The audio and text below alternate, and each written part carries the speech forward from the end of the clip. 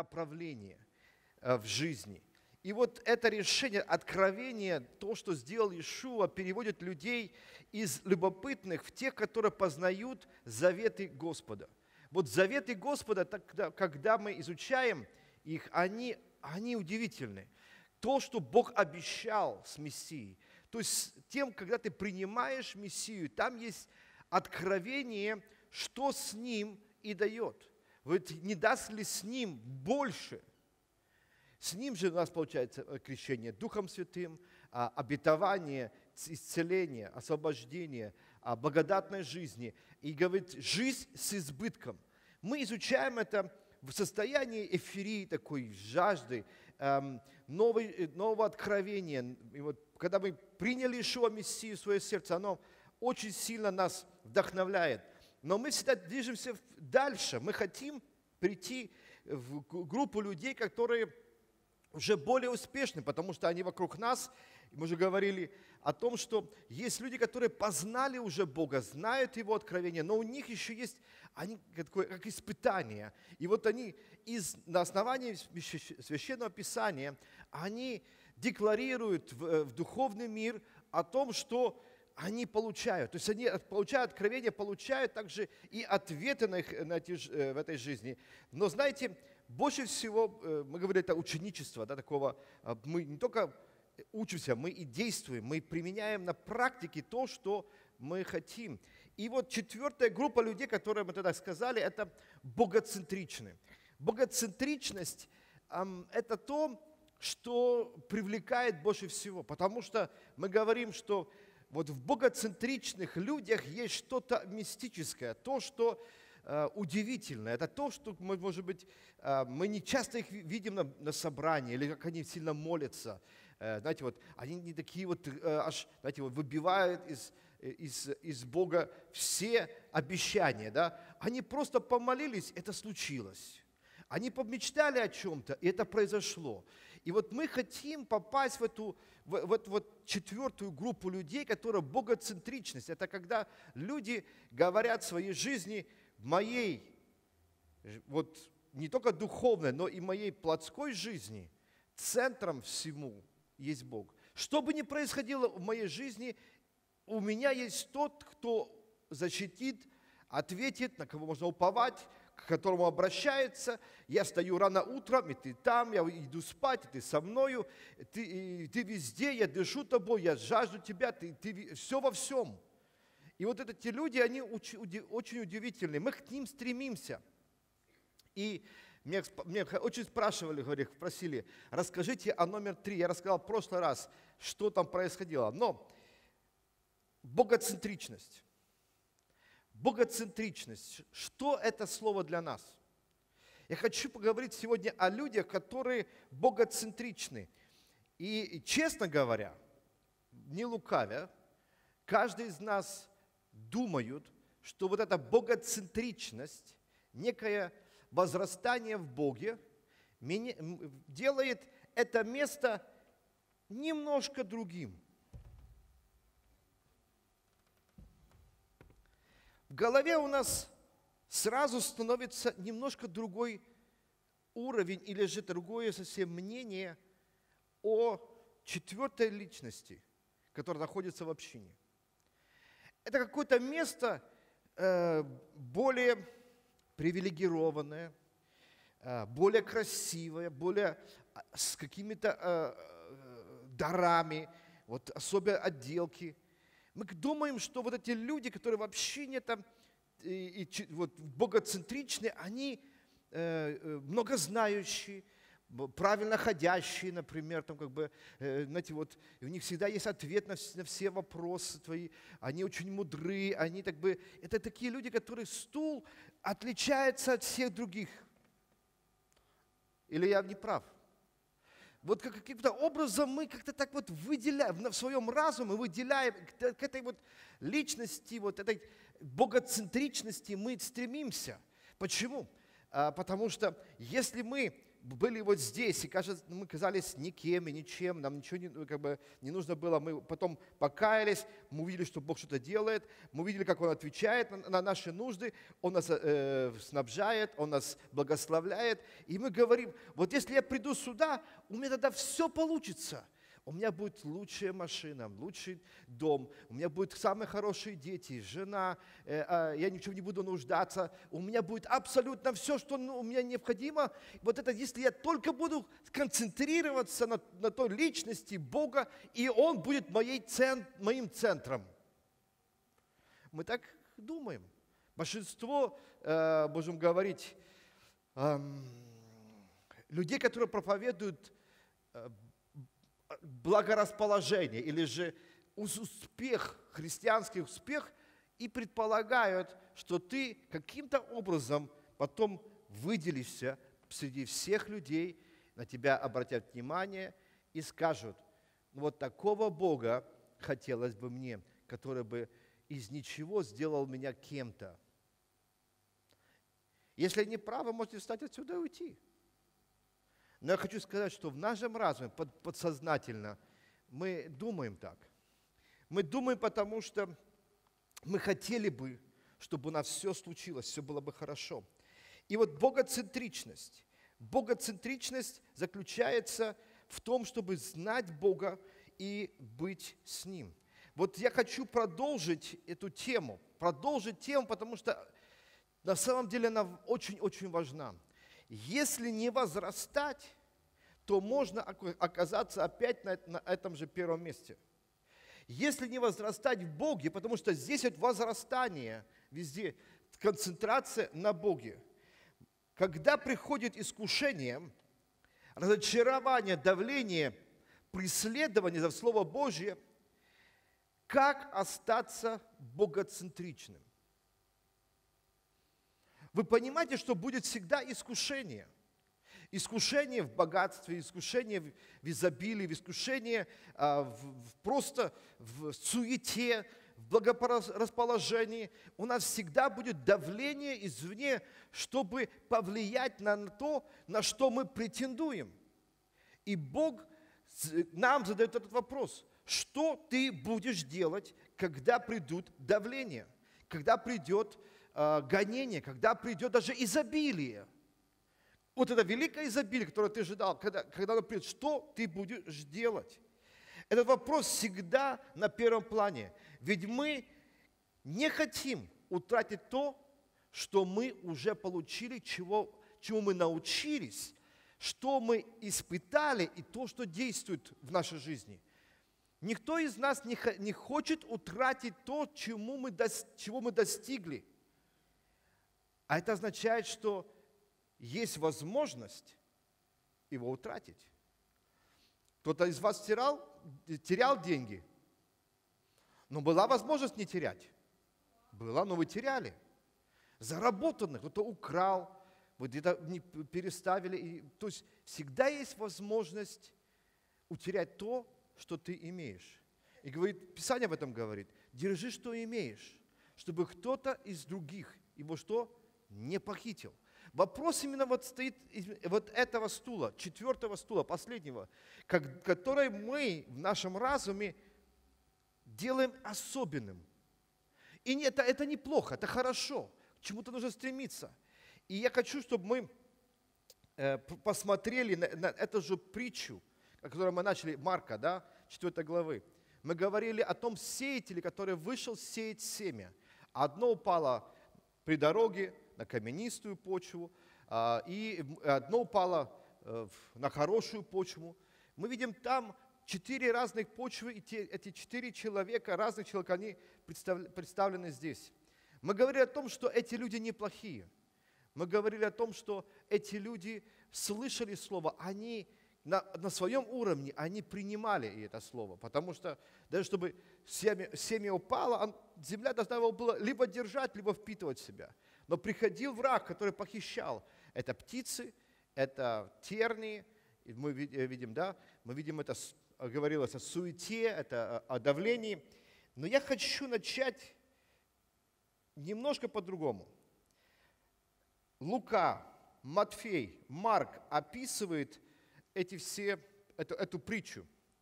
Но в Луке 8 глава, 15 стих, говорится, а упавшая на дорогу, на добрую почву, извините, это те, которые услышали Слово, хранят его в добром и чистом сердце. Чистое сердце там имеется в виду не лукавого сердца. Хранят и приносит плод в терпении. Сказав это, он возгласил, кто имеет уши слышать, да слышит.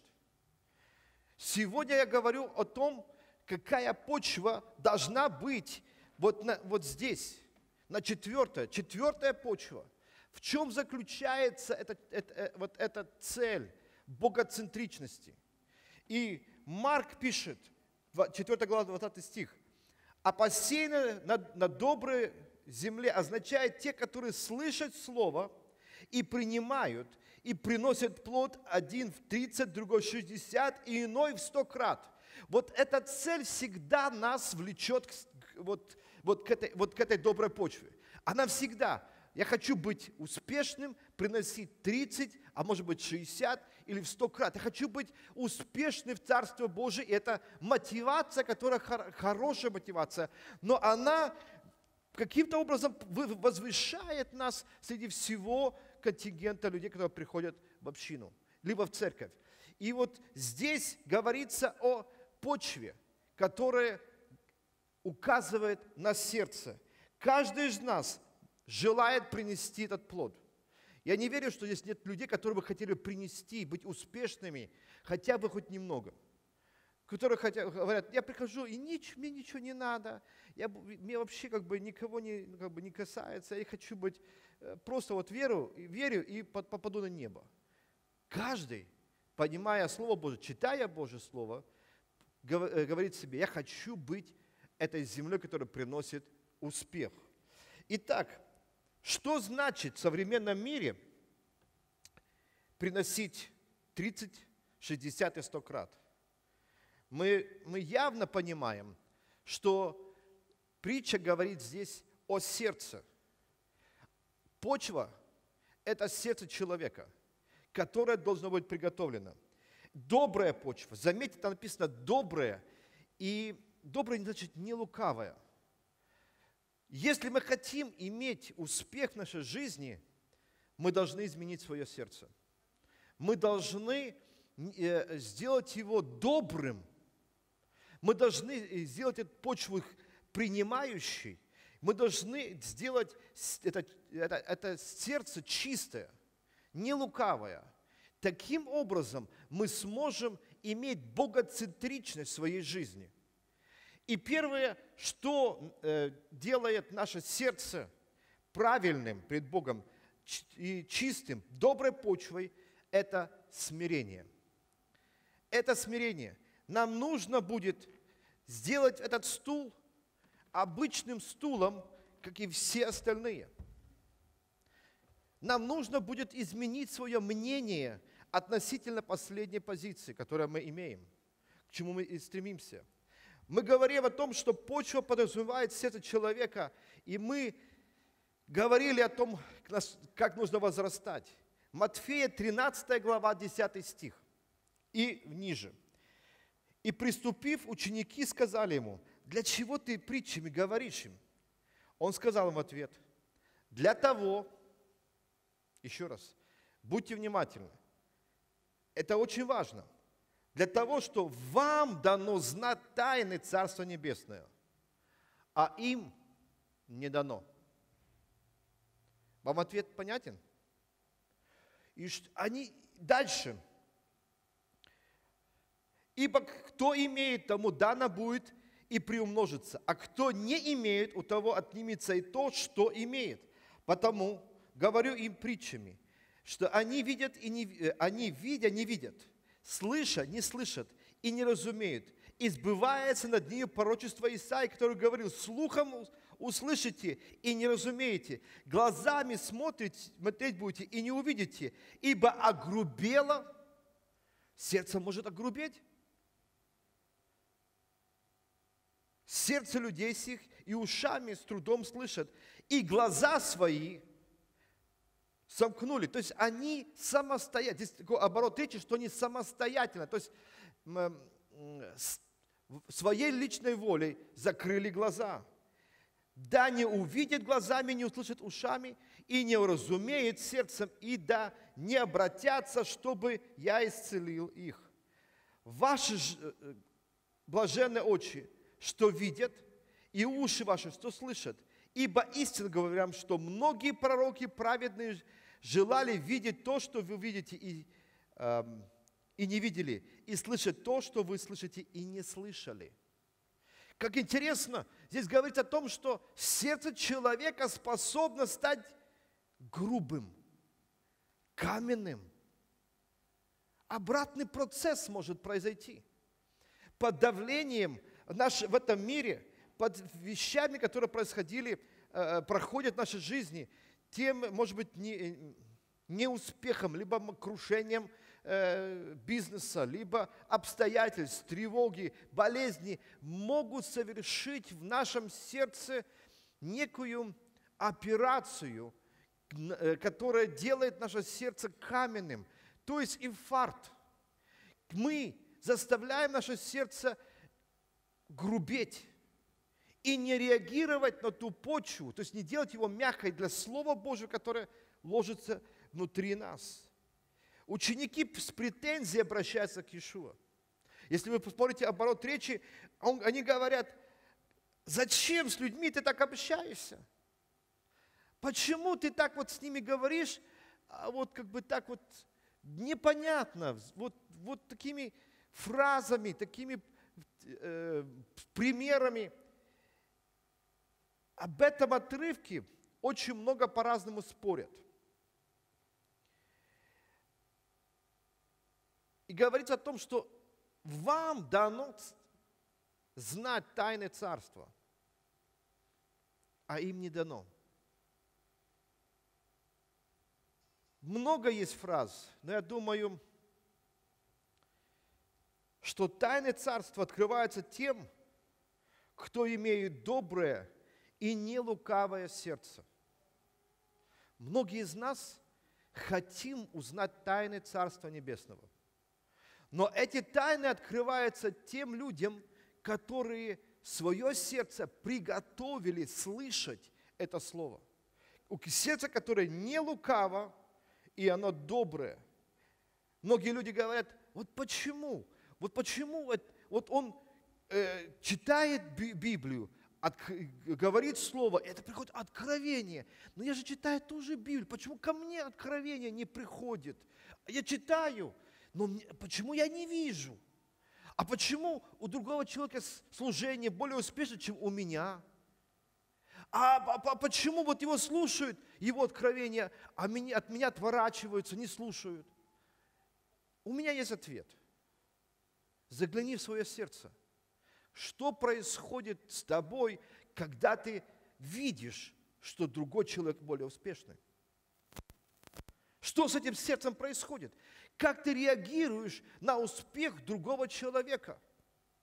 Я думаю, что этим именно Дух Святой занимается, чтобы открыть наше нутро и чтобы от, раскрыть то, чем мы дышим, чем мы существуем.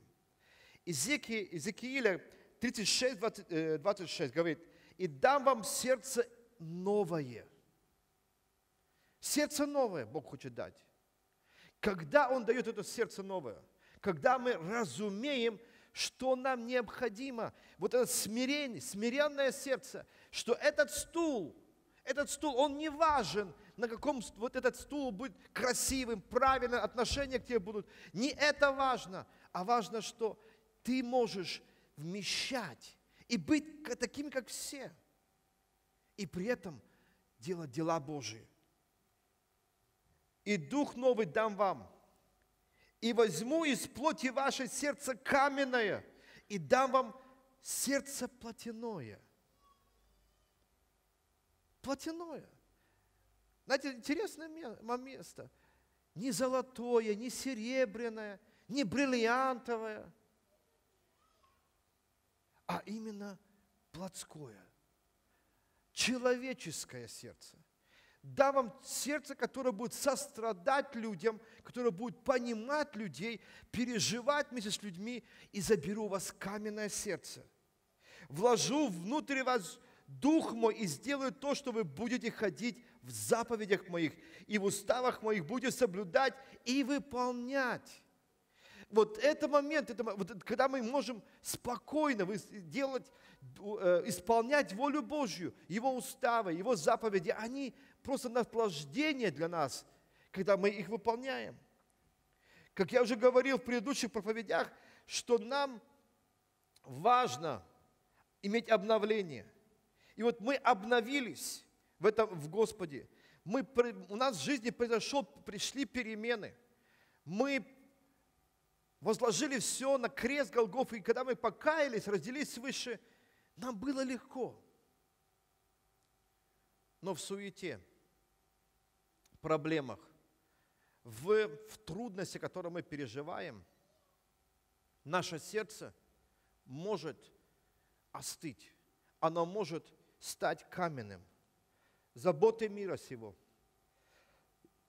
извините, заботы всего мира – гонения и страдания наносят на наше сердце раны, обиды. И в свою очередь мы делаем его грубым. Само сердце по себе не становится каменным. Мы позволяем ему таким быть. Мы позволяем. Друзья, никто не виноват. Не может быть так, раз в один момент ты утром проснулся, и, и, и все – но именно обстоятельства делают реакцию нашего и духа, и нашего сердца относительно того, как мы поступаем. Чем грубее сердце, тем каменнее почва. Более каменисто становится. я замечал, вот знаете, вроде бы э, земля, которая у нас есть на Украине, чернозем, хороший чернозем, если его оставить э, не вспаханным, не обработанным, то есть не работать над ним, чернозем, он, он как камень. Он становится как камень. Вы замечали, нет? Вот, в это, вот буквально вот недавно мы работали у себя на участке, да, и то место, где было вот, э, оно прошло зиму и так далее, Татьяна копать, а оно не копается. Она, да, она, Татьяна у меня э, садовод, я только помощник в этом, я буду только носить. И чем бы, чем, что бы ты ни делал, вот э, лопатой, которая хорошая лопата, острая все, ты не можешь ее разбить, пока ты не поработаешь над этим, пока ты не сможешь это э, изменить. Когда сеянное семя в нашу почву становится на поверхности, из-за из каменного именно состояния, тогда птицы похищают его. Если помните, с первой, первый раз мы говорили о том, что каменная почва тогда, когда птицы налетают, и они собирают. И эти птицы, Иисус говорил об этом, что это дьявол. Он похищает. Будучи верующими, мы, нам казалось, что мы достигли уже этих богоцентричностей. Но э, обстоятельства жизни сделали наше сердце каменное. И каждый раз, когда сеется слово, то ли это со, со сцены, то ли это в домашних группах, то ли это может быть на конференциях, и мы вдруг в какой-то момент замечаем, что оно легло, а потом оно не произвело никакого, никакой пользы. А потом дьявол, он похитил это слово. Я понимаю, что есть конференции, которые неинтересны, но я не верю, что Слово Божие не может быть интересным. Я верю, что Слово Божье, оно имеет какой-то такой, знаете, вот цимис, такую-то сладость, которую ты можешь уловить. Одно слово может изменить всю твою, э, все твое, мышление, всю твою, э, твою жизнь, свое, твое естество. И я понимаю, что эти птицы, они похищают.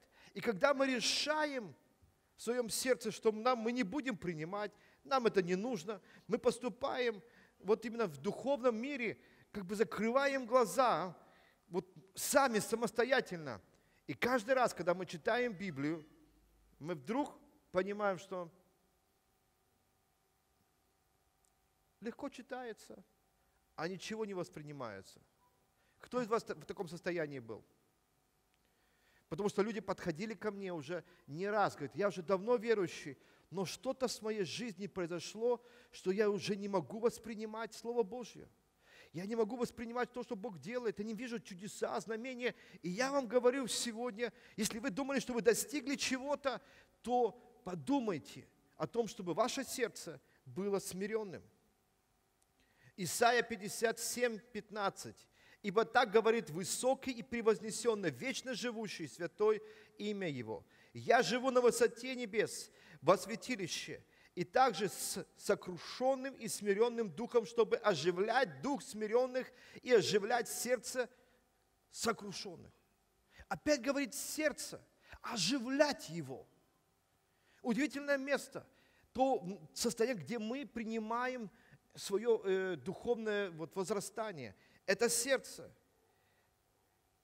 Говорит, что я обитаю на высоте, а также в приземленном сердце.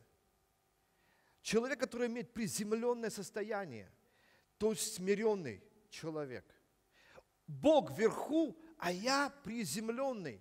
Ему возрастать, а мне умоляться. Вот это состояние сердца, как, где нету гордости. Смиренный значит, опустошенный, распространенный в, в пепле и в прахе. Смиренный тот, который на коленях, который воспринимает себя нуждающимся. Я понял одну вещь. Царственная такая алия, то есть восхождение, всегда сопровождается с унижением не унижение как человека, как личности, а себя самосмирение, даже сказать не самосмирение, смирением, когда я унижаюсь, тогда я возрастаю. Тогда я могу усознать, кто есть Бог. В Тигелим, это а, в, псалмах говорится такие слова. «Желание смиренных услышал Ты, Господи, утверди сердце их, да внемлет они. Внимать чему? Чему, как человек, я могу внимать? Ты, Господь, сделал мое сердце другим. Я готов принимать Твое Слово. Когда Иешуа говорит выражение, что эти люди не понимают тайны Божией или Царства, он говорил им о том, что люди э, их, из-за их гордости все знания – не готовы увидеть Царство Божие. Встречали вы людей таких, которые на улице, я не знаю, которые все знают? Встречали? Они, может быть, полные, э, как бы, ну, неведущие, они не, настолько, не столько эрудированы, не столько они начитаны, не столько они знающие. Как только начинаешь с ними общаться, они тебе говорят о том, даже что там не было. У тебя утверждает в тебе, тебе твердят то, что, может быть, никогда не могло произойти, но они все знают. Особенно встречаясь с людьми, которые религиозные, э, набожные, можем сказать. В религии они полный ноль, но они пытаются тебе утвердить того, что ты даже в Писании не прочитал, а они уже давно его знают. И вот с такими людьми страшно даже общаться. Мне, к сожалению, работать с такими людьми не хочется, когда, которые все знают. Когда только люди начинают что, говорить, что они все знают, тогда, знаете, они, эти люди ненадежны в Царстве Небесном. Мне всегда легко с людьми, которые могут говорить, я хочу научиться. Которые говорят, я сделаю так. Или же я могу сказать, что я еще не знаю. Я вот на твой вопрос я не могу дать ответ. Я готов сегодня учиться. Это первая была позиция смиренное сердце – Второе – это освященное сердце, почва, на которой ложится Слово Божье и приносит 30, 60 и 100 крат. Эта почва всегда освященная. Исайя, даже 57, 15. «Ибо так говорит высокий, превознесенный, вечно живущий святое имя Его. Я живу на высотах небес во святилище». Мы все читаем, и все, ну не все понимают слово «святой», «освященный», и так далее. Кто из вас понимает вообще, что такое слово святой? Чаще всего мы говорим это безупречный, правда? Мы говорим, вот, вот слово безупречный. И действительно, Бог в своей сущности, Он безупречный. В нем нету э, э, никакого сомнения. Когда мы говорим святой, мы подразумеваем безгрешный. И действительно, Бог сам э, в своей натуре, Он безгрешный. Но это не то, э, что имеет э, в сути своей слово «святой». Слово «святой» означает «отделенный». Отделенный. Если бы слово «святой» означало без, без, безгрешный, безгрешная безупречность такая, да, что-то вот, вот именно что-то такое вот безупречное. Да, мы все с вами в большой проблеме. Как у нас в Одессе говорят, мы попали в большую торбу. Потому что безгрешность и безупречность не являются этим словом святой, хотя это и имеет в себе корни этого. Как бы, да, он, он такой, но слово, э, слово по себе святой означает отделенный. 1 Петра 1.15 говорит, но по, при, по примеру призвавшего святого, и сами будьте святы во всех поступках. Ибо написано, будьте святы, потому что я свят. Правильно? И если мы думаем, что э, святость означает безгрешность и безупречность, да, тогда можно читать это слово совсем по-другому. Мы можем сказать, но по примеру призвавшего вас, и сами будьте безупречны и безгрешны во всех путях ваших, ибо написано, будьте без, безгрешны, потому что я безгрешен и без, э, безупречен. Когда так, мы, мы бы не смогли бы выжить, правда? Не, знаете, этот отрывок, если говорить о том, что слово «святой» говорит «отделенный» от чего-то, Бог отделил себя от всего мира. Он не имеет с грехом никакой части. Он отделил себя. Нет в нем тьмы. Он себя отделил в отдельную сторону. И здесь написано, можно говорить так, вот как, э, но вы будьте отделенны во всех ваших поступках и ваших делах от, раз, от прогнивающего от греха мира сего, как и я отделил себя от него. Если взять слово «святый». И посмотрите, что Бог призывает нас быть отделенным, не сообразовываться с этим веком, но и быть измененным. Это место Петр цитирует из книги Левит. Он цитирует это из, э, из книги Левит, где четыре раза говорит о том, что будьте святы глава 11, 19 э, и дважды 20 главе. Бог говорит, будьте святы. И на самом деле это очень интересно, потому что Левитам 20 глава 7 стих говорит так, осветите себя и будьте святы. Осветите себя и будьте святы, ибо я Господь Бог ваш. Но в этой же главе говорится следующее. Будьте предо мною святы, ибо я свят Господь Бог ваш. Я отделил вас от народов, чтобы вы были моими. Ой, как интересно. Отделение святости. Это мы все согрешаем, мы все падаем, мы поднимаемся. Именно отделить себя в понимании пред Богом, что мы Его народ. Мы Его народ. И знаете, вот Матфея говорит такие слова, что в 15 главе, Тогда приходит Ишуа к Иерусалим, книжники, и, книжники фарисеи говорят, зачем ученики твои приступили предание старца, ибо не умывают рук своих, когда едят хлеб. Он же сказал им в ответ, зачем и вы приступаете заповеди Божию ради предания вашего? Знаете, такая интересная история, потому что эм, я не знаю, как вот э, быть рыбаками и э, всегда иметь чистые руки. Если по, по, вот, по, по кашруту, надо, если ты были в Израиле, то там специальная леечка есть, как-то там ее нужно специально помыть руки и так далее. Пойдем кушать хлеб, и, и, и если сегодня иудей был бы здесь, и, э, и мы хотели бы покушать, то было бы сначала омовение рук и, и так далее, бы мы бы ели хлеб. Хорош, хорошее дело кушать хлеб э, омытыми руками. Но э, скажите, пожалуйста, кто из вас вообще рыбак? Рыбаки есть здесь? Один. Быть в Одессе и с пирса не половить рыбу? Два человека, Олег еще, да. Два, но на самом деле, если вы скажете, поедем на рыбалку, соберется человек 10. И, и, и, вот я, я буду с вами откровенен. Кто из вас, а кто в детстве ловил рыбу? О, вот, ну, слава Богу, больше людей. Поймав рыбу, рыбу поймав, да?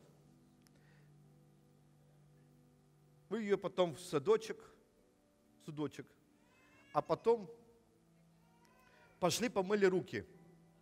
Где вы мыли руки? Да, все правильно, помыл руки в море. А потом проголодался и что? Пошел за сэндвичем, раз взял его. У каждого свое омовение рук. Что говорит, ребята, вы не понимаете, мы как, как эти пацаны, они рыбаки. Они омыли свои руки, когда вот половили рыбу и там же прямо в воде помыли. У каждого свое э, понимание э, рук помыть. Подходят потом ученики и говорят, слушай, они на тебя обиделись. Они притнулись на том, что ты их упрекнул в том, что как бы вот в этом положении. А дальше идет общение между Петром и Ишуа. Петр же, отвечая, сказал ему, а теперь хоть сейчас изъясни причину, ой, притчу эту.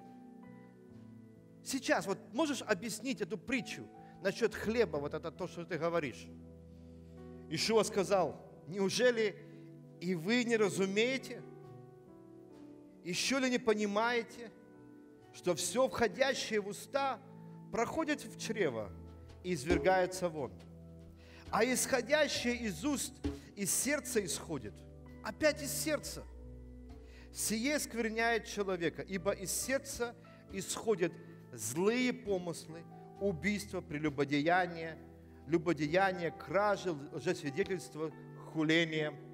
Вот это оскверняет человека. А есть неумытыми руками не оскверняет человека.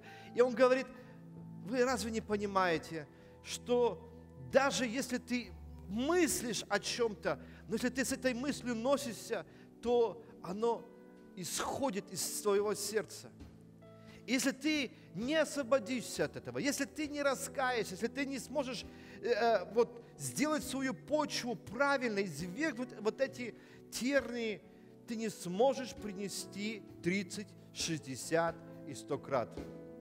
Ты не сможешь своей жизнью сделать это успешным.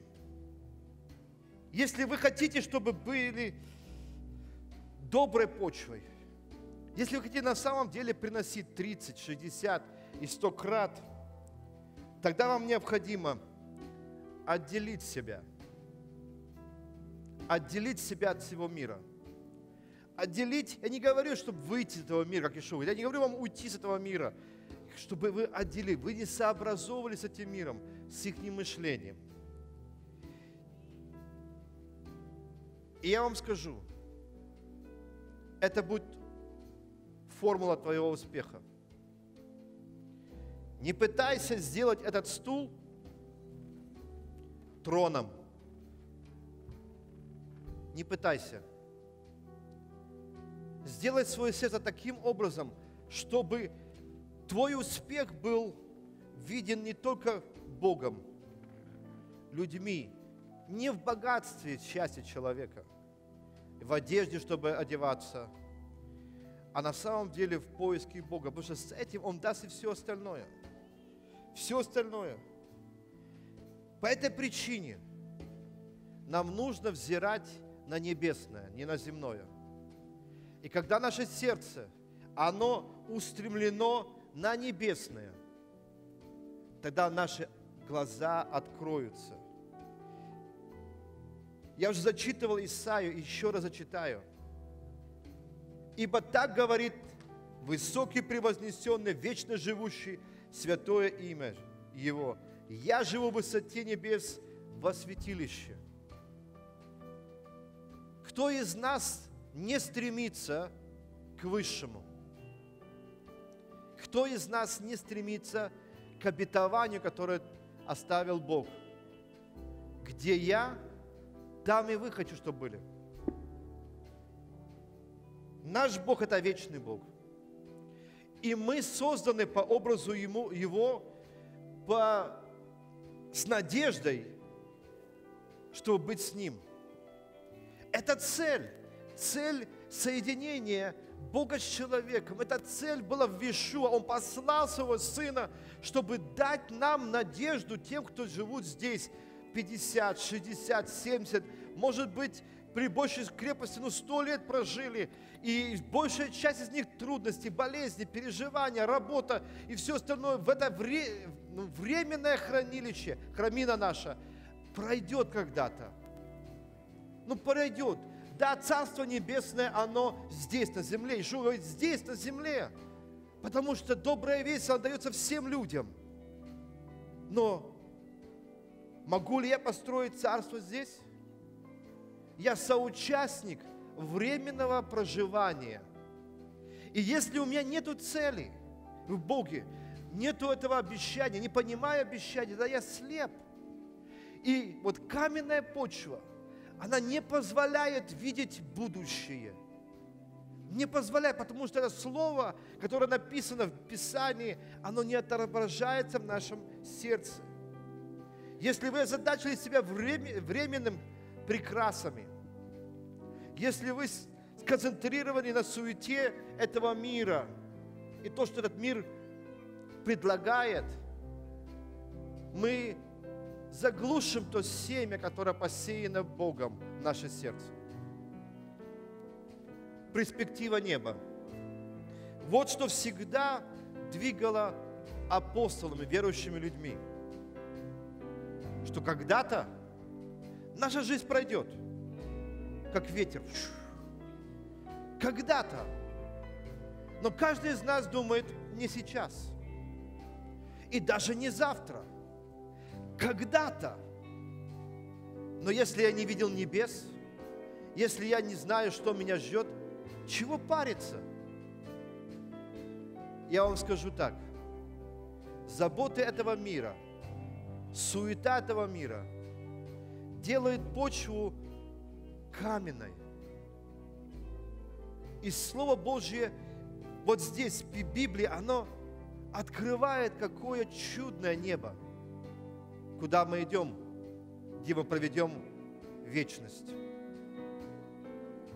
Плача, скорби, болезни там не будет.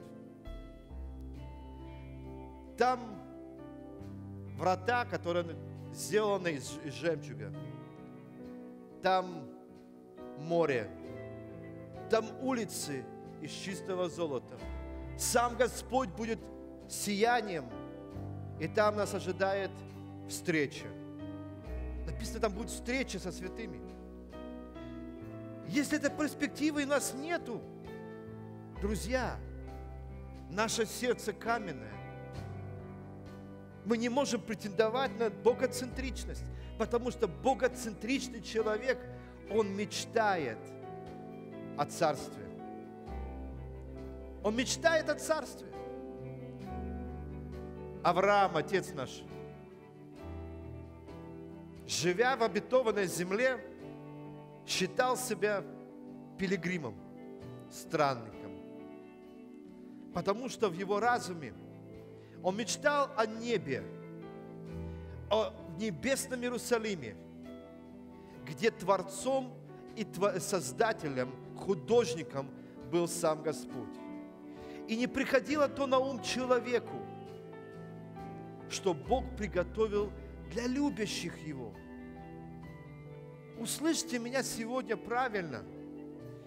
Вот этот стул, он не может отличаться от всех других, потому что это тоже почва, которой нужна вода.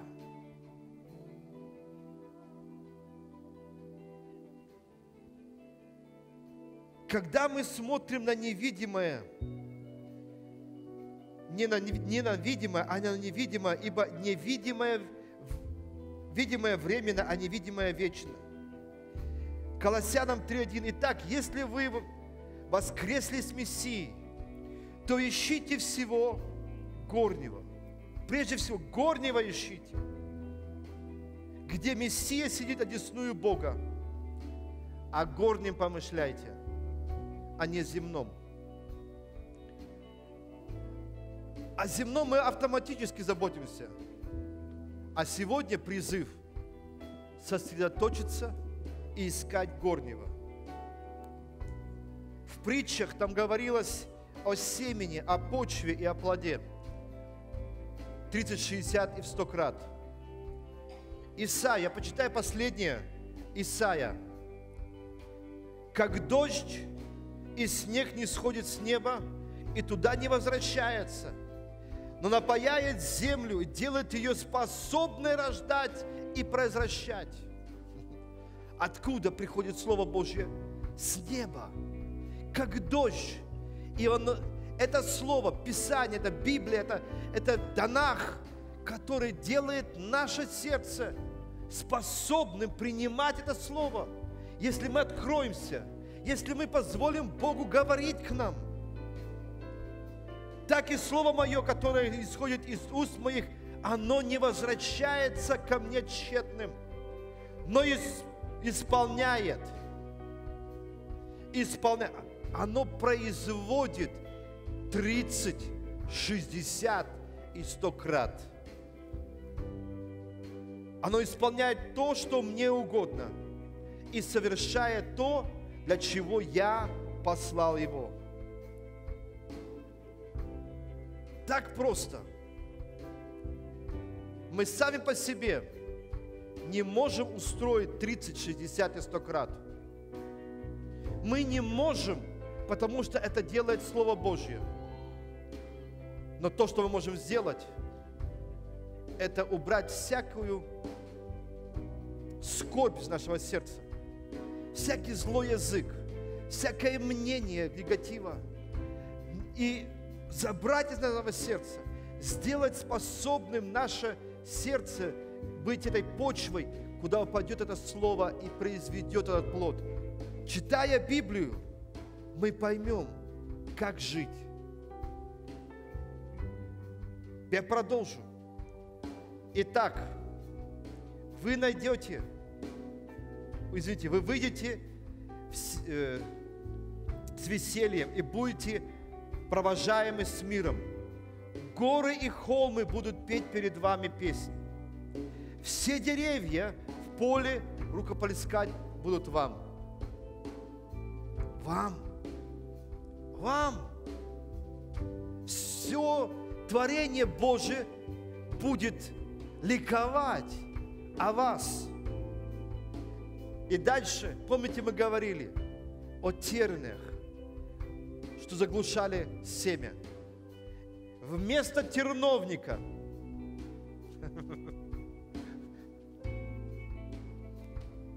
вырастет кипарис. Вместо крапивы возрастет мирт. Это будет по слову Господа и знамение вечное. Богоцентричность. И наше сердце, которое доброе, добрая почва, не лукавое сердце, сможет Бог это изгнать все терновники, изменить терновники на кипарис. Кипарис растет при максимальном ноте заботе поливания. Если не поливать кипарис, он засохнет, но он растет там, где много воды. Бог говорит, я пошлю этот дождь, если ты хочешь.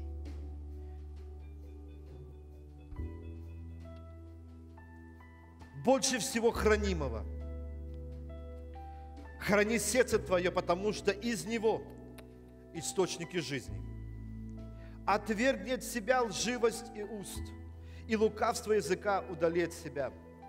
Глаза твои пусть прямо смотрят, ресницы твои да э, направлены будут прямо пред тобою. Обдумывай стези для ноги твоей. и все пути твои да будут тверды. Я хочу сегодня призвать людей, которые пришли сюда, либо приходят уже давно, и они находятся в этой группе любопытных. Вам интересно, что поют, что происходит здесь.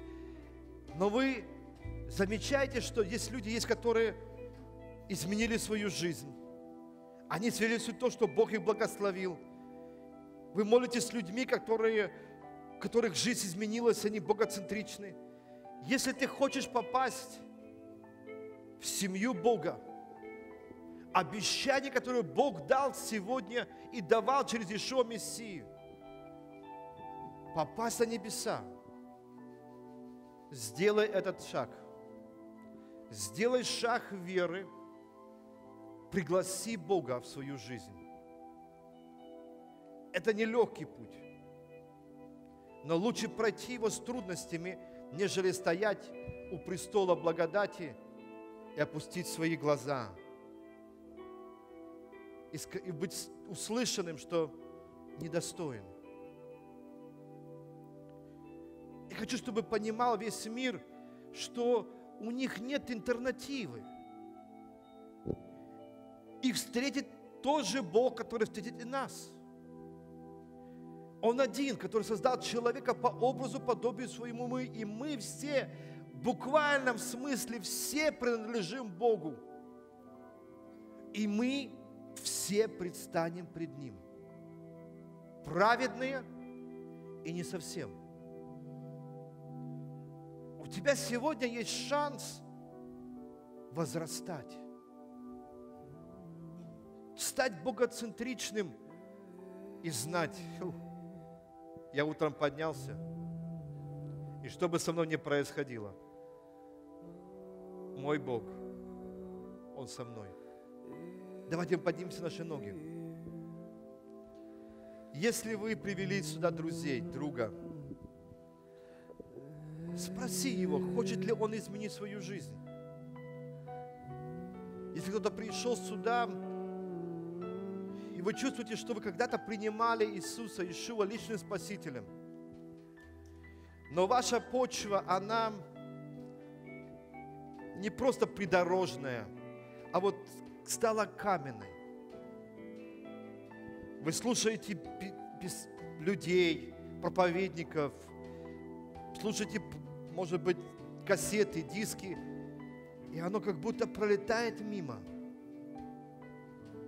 что вы не можете подцепить вот этот момент Божьей сущности, что Бог говорит. Я вам предлагаю посмотреть еще раз свое сердце.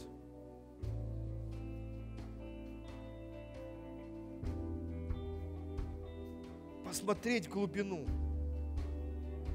когда и что происходило со мной, почему я таким стал, почему мое сердце, оно не, не добрая почва. Почему там проросли горькие корни?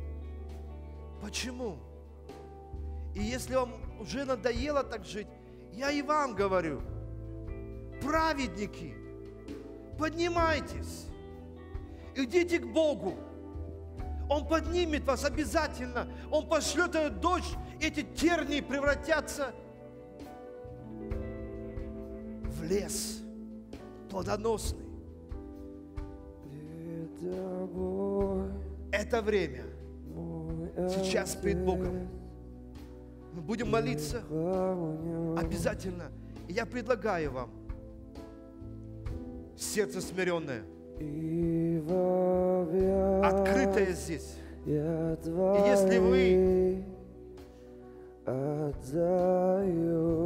будете искренне пред Богом, то я ожидаю здесь людей коленях. И Бог изменит вас. Он прольет этот дождь спасения для многих, а для некоторых обновление. И те, кто смотрит нас в прямом эфире, либо э, будут смотреть кассеты, я обращаюсь к вам. На том месте, где вы находитесь, преклоните ваши ноги. колени и смирение сделает вашу почву другой. Тогда никакой злой язык не может вам повредить. Оно не будет доставать, потому что ты созерцаешь небеса. Вперед тебе. Приходите сюда. Только ты один достоин. И пред тобой, Господь, мы преклоняемся. Во имя Ишуа.